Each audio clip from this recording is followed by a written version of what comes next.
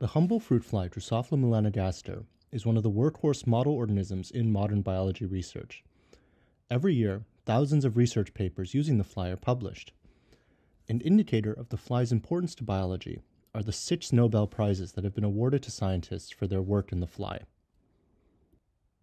The use of Drosophila as a model organism was first proposed in 1901 by Charles Woodworth, a professor at the University of California. Thomas Morgan of Columbia University established Drosophila as a system to study genetics, discovering in 1911 the principles of chromosomal inheritance. Drosophila has continued to be one of the most commonly used model organisms in the field of genetics. In the year 2000, it became only the second animal to have its whole genome sequenced, paving the way for genomes in larger animals and humans. Fruit flies are even involved in space exploration. In the late 1940s, they became the first animals ever launched into space, paving the way for human spaceflight. Flies still play an important role in space exploration today. Studying the cardiovascular and immune systems of flies aboard the International Space Station has given us insights into the effects of prolonged spaceflight, understanding crucial to future missions to Mars and beyond. Practically speaking, flies have a lot of advantages as lab animals. They're easy to breed in captivity, they're easy to sort by genetic phenotypes, and because of the sheer number of Drosophila scientists, over 4,000 labs around the world, there now are just many resources that make working in the fly easier. For example, the Bloomington Stock Center maintains a library of 84,000 different genetic strains available to scientists by online order. We now have a wealth of tools available to genetically modify flies in the lab, allowing us to do things like finding specific cell populations, record neural activity optically, or even manipulate their behavior by shining lasers into the fly's brain, a process known as optogenetic activation. But what can we learn using flies uh, that is really relevant to us?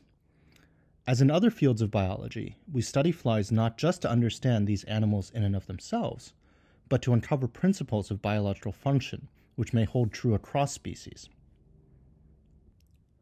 Despite not looking anything like us, 60% of genes are conserved between the fruit fly and humans, including 75% of all known human disease genes. Many of their biological systems are also organized in broadly similar ways.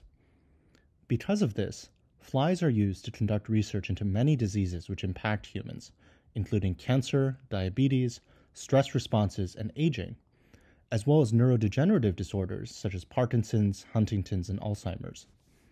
Flies are also used as a model system for development, genetics, evolution, and of course, neuroscience.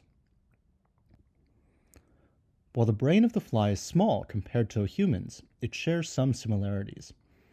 As in mammalian brains, the brain of the fly can be divided into anatomically distinct brain regions, which have different functions, such as the optic lobes in pink, which process visual information, or the central complex in teal, which makes navigational decisions.